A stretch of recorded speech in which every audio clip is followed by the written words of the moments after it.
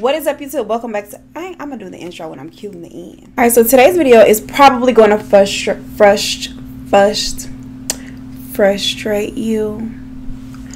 It frustrated me to like no end, but because I went on the emotional roller coaster, I'm going to come back and bring you guys along too. And we have company. Hi, hello.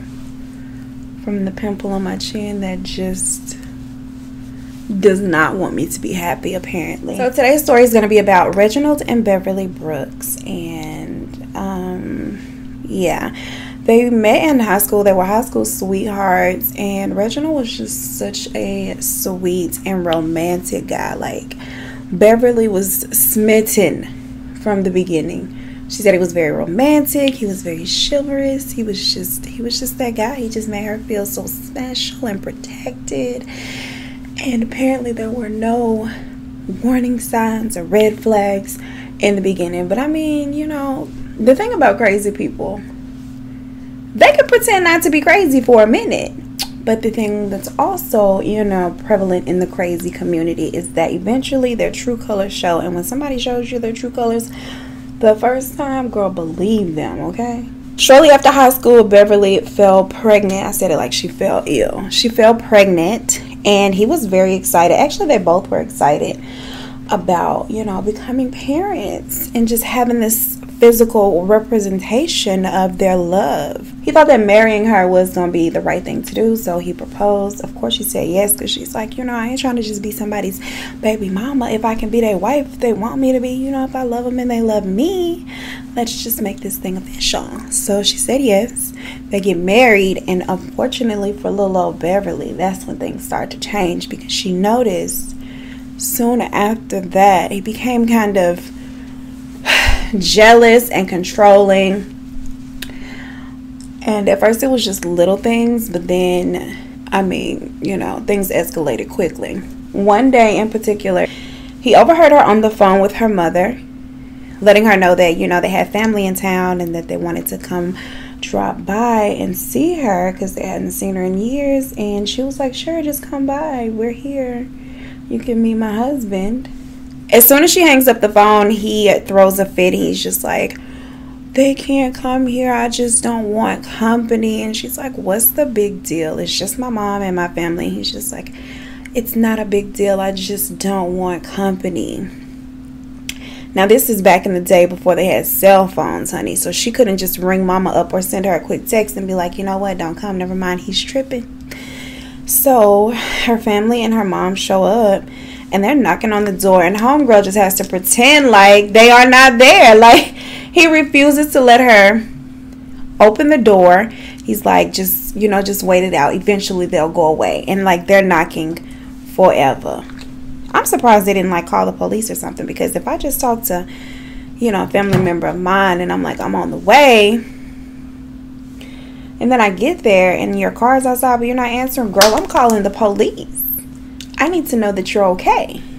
But nevertheless, after a while of them knocking and not being let in, they just decide to leave. And when they get home, they give her a call and she's just like, you know, um, yeah, I'm sorry about that.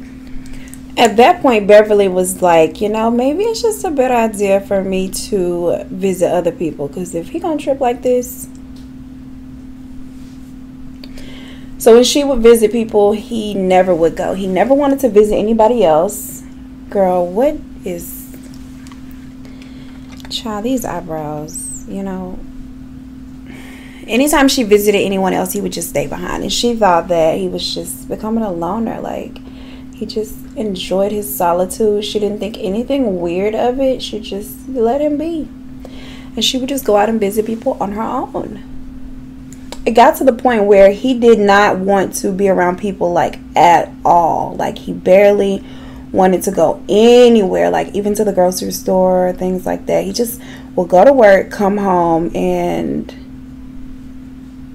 be weird.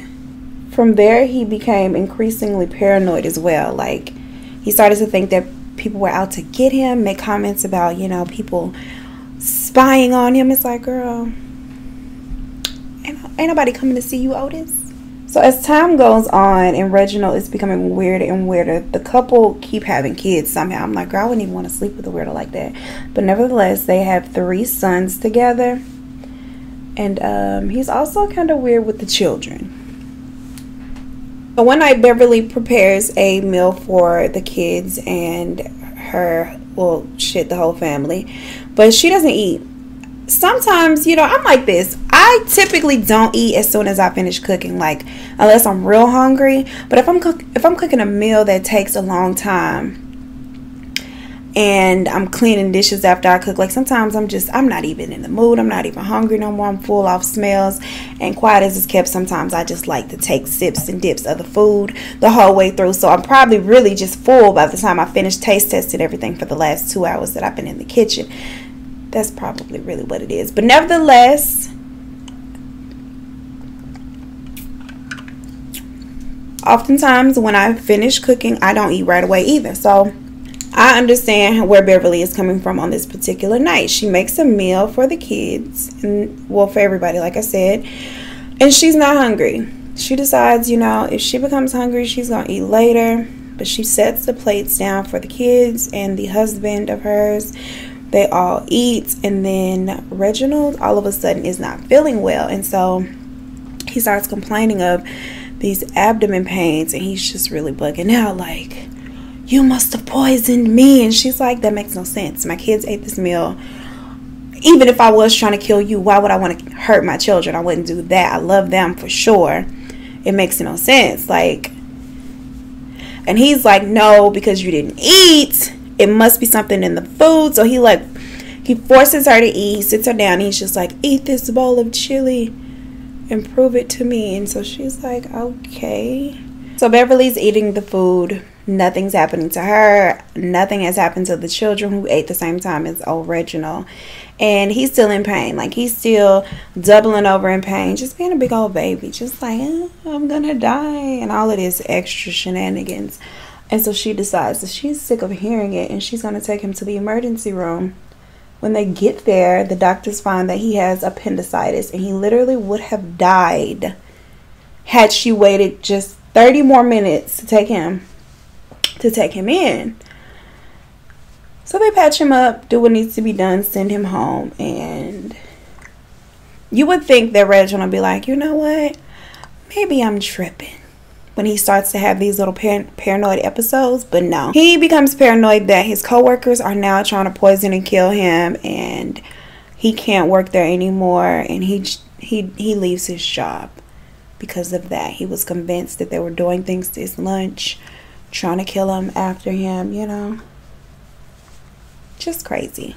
So now Crazy Reginald is at home all day while the rest of the family is doing their thing as normal, going to school, going to work. Reginald is just at the house bugging out.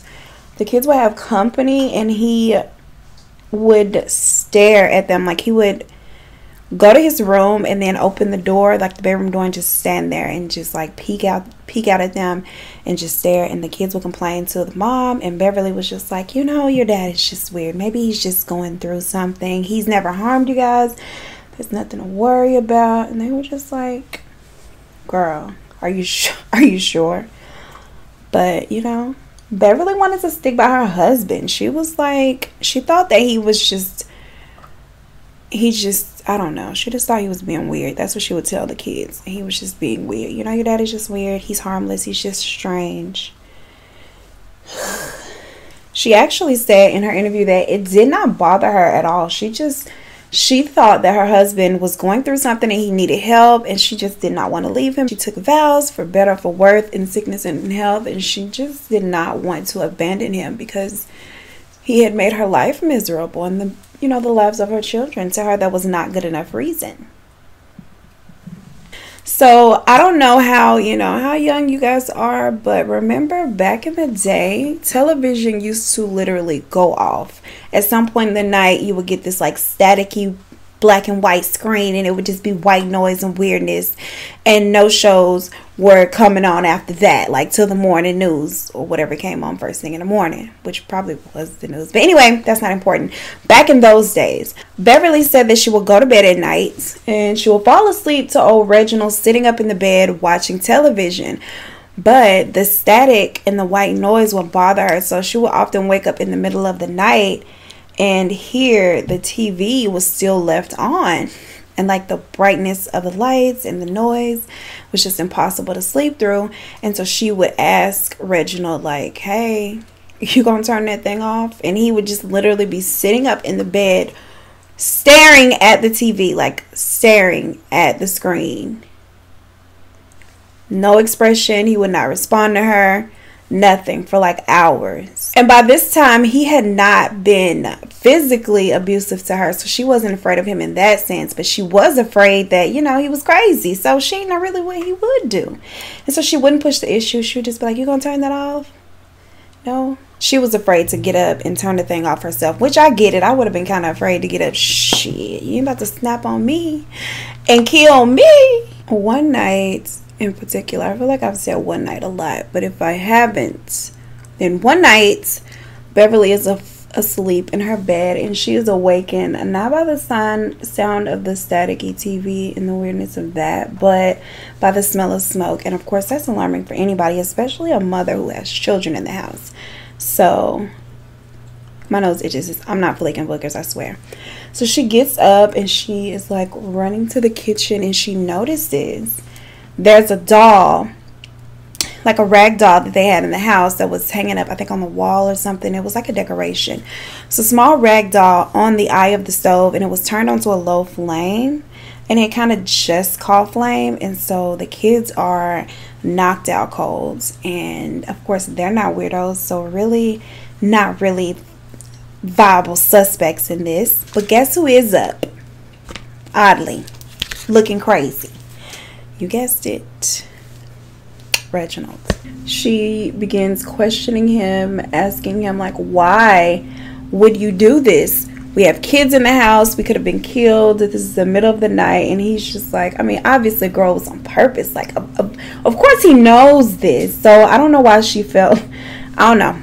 Let me just move through the story without passing and casting my judgment. You see how I said I went on an emotional roller coaster? Now I'm getting all worked up again because I'm I'm mad. But anyway, let me just finish telling you.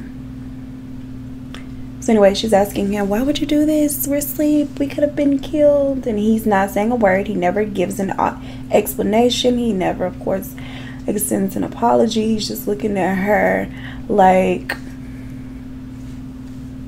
well, that's not that's that's not how he was looking at her. He's just staring blankly at her. But you know, it's kind of like, girl, he knows all that. Even even with that, she said that she wanted to stick it out with her husband. Are you frustrated too? You have to be. You have to be. This is anyway. She wanted to stick it out with her husband. She said that she felt like he needed help. She didn't want to abandon him. Let me tell you something. I understand that there are bumps in the road in any relationship or marriage and I probably look a little too crazy right now to be trying to deliver a, um, a wordful and wise message right now. But you got to listen to the message and not look at the messenger right now. Situations like this that are like are a threat to your health, girl, go. I ain't. Mm-mm. I'm not sacrificing or jeopardizing my health, my sanity, safety, none of that for nobody. Honestly, even if you go to jail, I ain't nobody's down this bitch. Let me tell you something. If you go to jail longer than the weekend, if I can't bail you out on Monday, I'm out. I'm not sticking through no nonsense. Judge me. Judge me all you want. As crazy as this sounds, Beverly decides to let the incident go. Yes, she did. But unfortunately, he did not stop with the these shenanigans. A couple days after that, she wakes up, not to smoke or anything crazy like that, but there's this stuffed animal that their youngest son, who at the time was 11, he would always have, he would always he would always sleep with. She wakes up and the animal is strung up like from the ceiling. So she's just thinking at this point, you know, her sons are like uh, 17, 15, and 11. She's thinking boys will be boys. They were having some kind of rough play and they, you know, made a joke, probably teasing the youngest, hung it from the ceiling and made him sleep without it. Something along those lines that was kind of makes sense, right? But as she gets closer, she notices that the doll is hanging by a noose, like an old school, well done noose that you know they used to hang slaves and people of color on back in the day. My eyeshadow oh, is starting to look horrible, but you know, we're gonna push through whatever. And then she also notices that there is a hole in the heart of the doll. And she becomes concerned because A, her kids don't know how to tie a damn noose and B, her husband, old crazy Reginald, has started to get into voodoo. Like he really believed in voodoo and that you could put spells on people and do things to their belongings that would cause them harm, bring them harm. Girl, what's going on up here? Reginald, see, not today, Satan. You ain't gonna have me looking crazy. She takes the doll down. She doesn't even bother to confront Reginald, which, of course, girl, he's not to offer you any kind of explanation. We all know this by now. And then things just go downhill from there. She hears these weird, crazy, loud noises coming from her bedroom door. The bedroom door is closed and locked, and Reginald is in there chanting, honey, chanting these weird, inaudible words, sounds, whatever you want to call it. She couldn't make it out. She said it was not it was not English, okay? She just she didn't know what it was, but she knew it wasn't that and it wasn't familiar. She was knocking on the door, trying to get Reginald's attention. He's not responding. She's beating on the door, trying to get the door open, nothing. So she tells him that she's going to call the police. He is not moved by that at all. So she proceeds to call the police. And when they show up, she's like, See, y'all hear that? And they knock on the door to get Reginald's attention. He actually responds to them. He allows them to come in and they close the door. she cannot hear what the police and what Reginald are saying. After about 10 minutes, the police come out and they let her know that they're leaving. And she's like, Okay, are you taking him with you? And they're like, No. And so she's like, Um, but he was making weird noises. And they're like, He's really not committing any crimes. He hasn't hurt anybody, he hasn't threatened anyone. So there's no way we can take him. He's in his home. He has not broken any laws, so it was really nothing that they could do. But they were like, if he becomes dangerous or a threat to you guys, you know, just call us back. You got the number. And they bounce. Beverly is very alarmed. That's not funny. I don't know why I giggled. She's very alarmed at this point and she's like, you know, something has to be done. So she calls the local hospital and asks, you know, is there anything that I can do? Unfortunately, for the regular hospital, they said that she would have to be able to bring him in, and she knew that he wasn't going. Like, she knew he wasn't just to willfully get in the car and be like, all right, let's go down to the hospital and have me committed. Oh, shit she was feeling kind of hopeless at this point, you know, not really knowing what to do to help her husband. She still didn't want to leave him, still a better woman than me.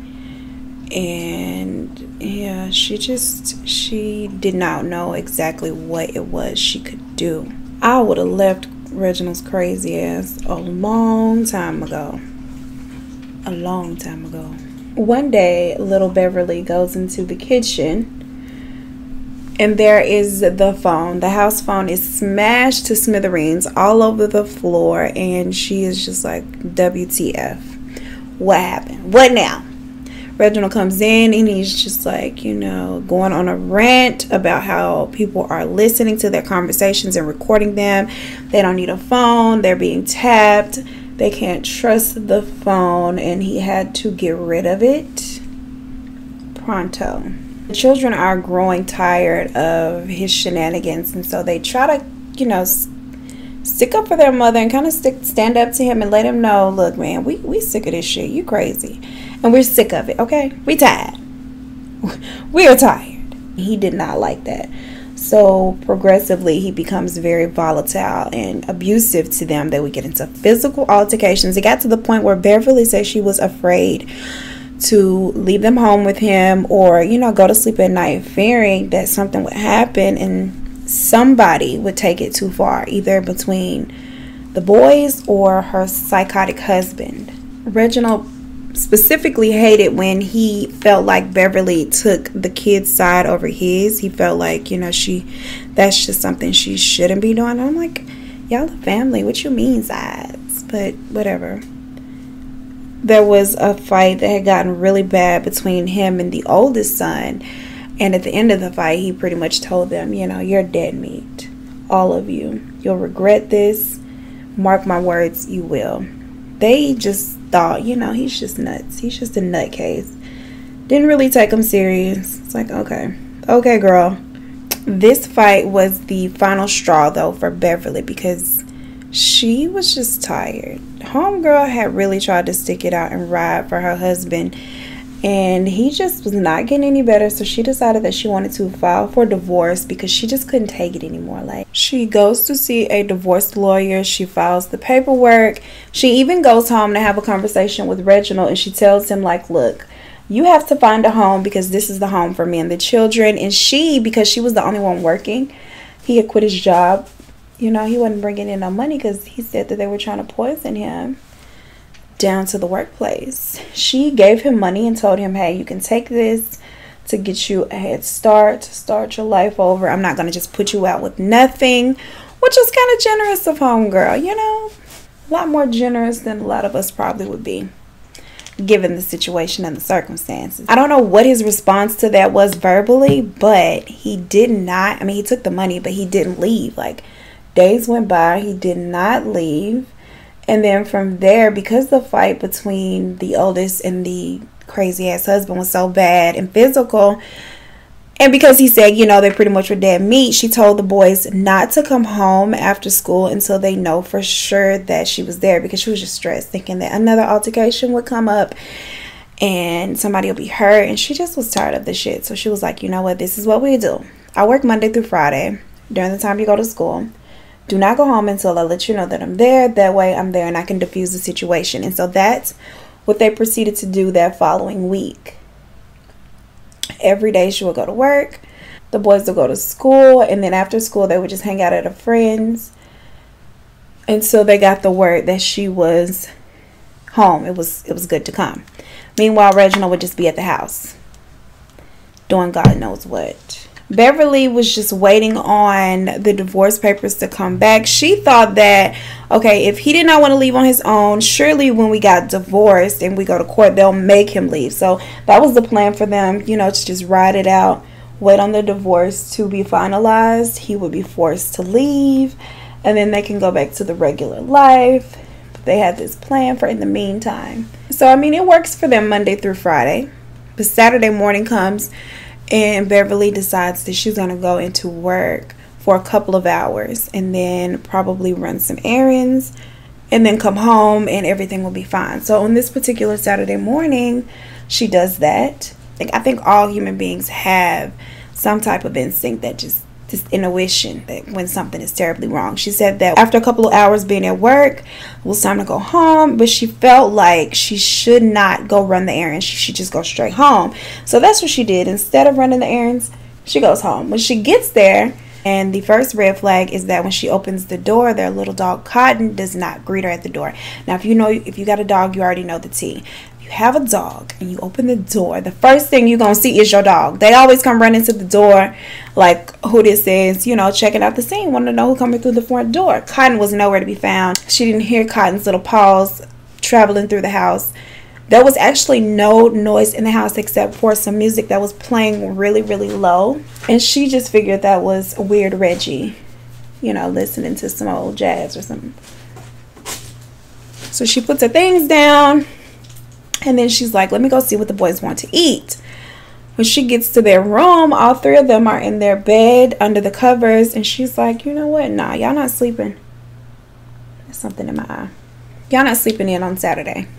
Not today. Really, Blue? So she proceeds to wake the boys up. She goes to the first which is the oldest, and she notices like he's sleep like like like this in a kind of a weird position for him, I guess. You know, you know your kids. That was kind of a red flag for her. So she gets closer and she notices there is a bullet hole in the side of his head.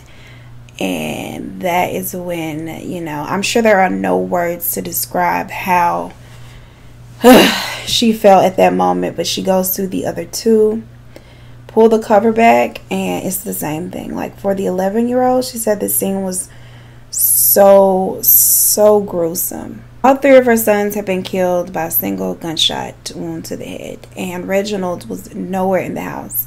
She runs to call the police and she lets them know like she just came home from work. All three of her children are have been murdered. She assumes it's by her husband, of course, for obvious reasons. Reginald ain't shit. He really ain't shit. Like, y'all gotta hear the rest of this story. He really, like, it gets worse. He really ain't shit, okay? So she tells him she has to leave the house immediately because she does not know where he is. He could be still in the house hiding somewhere, ready to kill her too. And she goes to her mother's to hide and leaves the police to investigate and, you know, you know, remove her son's bodies from the home. The police catch this asshole boarding a bus in Utah. He was headed to Vegas. He had checked two bags onto the bus, but he was only claiming one. And so when they cleared the bus out and checked the last unaccounted for bag, which was the same bag he checked in, stupid, it had a gun inside, which was the same caliber that was used to kill his three sons. Of course, he's a coward, so he pleads not guilty. He denies everything, says it's not him. But in actuality, his plan was never to hurt Beverly. Like, well, not to, let me rephrase that. His plan was never to kill Beverly. He wanted to hurt her by killing their three kids, by killing her three children. So he did that and he vamped. That was his plan. like, how terrible of a person do you have to be? to retaliate against your wife, like to kill your kids to do anything. I don't know. It's a different kind of evil out here, child. I don't know who they breed. He goes to trial. Of course, he is found guilty and sentenced to death by lethal injection. And he spent 30, I believe 31 years. It was either 30 or 31 years he spent on death row waiting for his date so in 2011, he finally was going to be lethally injected. I don't know what takes so long. Just go on and take him out back and and do the damn thing. Like, no. Don't feed and house them for 30 years. So this is the part of the story why I said about 10 minutes ago that he just really wasn't shit. Like he was just really a terrible, nasty person. Because on the date of his execution, Beverly, her sisters, and a cousin all got these shirts made that have the three boys pictures on it and i'll put a picture in the video and here let me let me just say this a lot of the stories i tell have pictures a lot of the pictures are very and so i don't insert them just out of respect because i feel like i don't know and then I don't want my videos demonetized, girl. I'm just gonna keep it real. But even if it wasn't about the demonetization of YouTube, I don't feel like it's I don't know, I just don't feel comfortable putting some pictures in the videos. So I try not to put like crime scene photos in there. But anyway, I'll put pictures of the shirts that they wore because they're not bad. Ain't nothing wrong with that. They wore the shirts, his execution sat there. The intent behind it really was, you know, of course, to show support as their mother and family of the victims, right? But they also, because he had not, over the 30 years, he still had not apologized, not once to Beverly for killing their kids. And so they thought that maybe this would trigger some kind of remorse. But when he saw them and he was asked, you know, do you have any last words? He looks at Beverly, gives her the double middle fingers, two middle fingers, and then that was it. Like, who does that? Homeboy had to have busted hell wide open. Like, I'm pretty sure as soon as his little poison got through his system and he died. You know what's so crazy? I just realized that he was so paranoid about people poisoning him, and then he got sentenced to death by lethal injection. That's what your ass get. Yeah, you was so scared of being poisoned, he got poisoned in the end. But anyway, like I was about to say, He must have busted hell wide open because, honey. And then Beverly's just like, well, goddamn, the shirt's where it fell. Because this bitch still doesn't care. But Beverly does have an happy and happy ending. Girl, trying to be proper and just messed up the whole sentence. Beverly does have a happy ending. She, a year after losing her sons, I hate trying to tell the end of the story while I'm doing lip liner. And I always do that. And then I'm just like, why am I doing this? Hold on. Fortunately, Beverly does have a happy ending though. A year after she lost her son, she met a man. A good one this time. He actually had three sons and they got married and they spent 34 years together. Unfortunately, he died 34 years later, you know. But they had a long, happy life together. She still has the three sons in her life. Of course, she was a part of raising them from young. So that was like a blessing to her. It was like, I mean, of course, nobody can replace your children, but it was kind of like she got her kids back or the opportunity to raise the three sons she lost. You know, you, you get what I'm saying. Without saying that they replaced her sons, of course. And she said herself that it helped her to cope with the loss of her children. So that's good. I couldn't imagine. I'm sure she felt so much grief. Like it was so many red flags. I'm sure she felt so so terrible, so much guilt for how the story turned out. I mean, I think I would. I don't think it's her. Girl, this is so tricky. I'm just to, I'm done. Put a little new lipstick on today, you know, because that's what the men's like. All right, so this is the finished look. I am going to now try to do something to my hair and look presentable for the rest of the day, you know, because right now I'm kind of looking like don't nobody care about me and I don't really care about myself. But that is it for this video. If you like the video, if you like the look, please don't forget to, of course, give it a thumbs up, share, comment, subscribe if you have not on your way out. Thank you so much for watching. As always, I appreciate you. And I will see you in the next one. Peace.